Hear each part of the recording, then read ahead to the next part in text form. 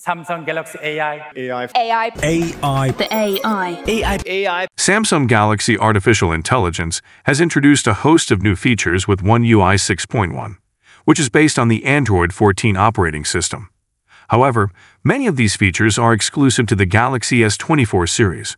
Historically, Samsung has extended incremental One UI version updates to older Galaxy models, incorporating select features from newer smartphones.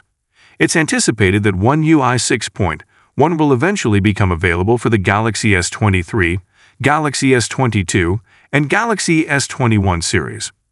Before the launch of the Galaxy S24 series, Samsung has been conducting tests of the One UI 6.1 version on older Galaxy models.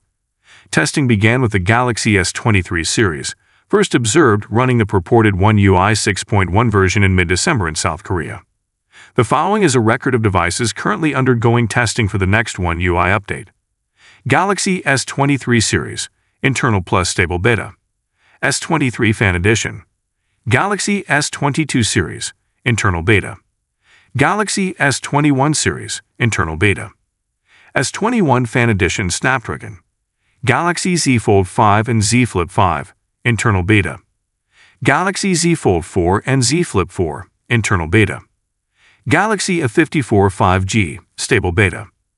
Galaxy A34 5G, stable beta. Galaxy A73. Galaxy A53 5G, stable beta. Galaxy A52s 5G, stable beta. Galaxy M34 5G. Galaxy F54 5G. Galaxy M33 5G. Galaxy A25 5G.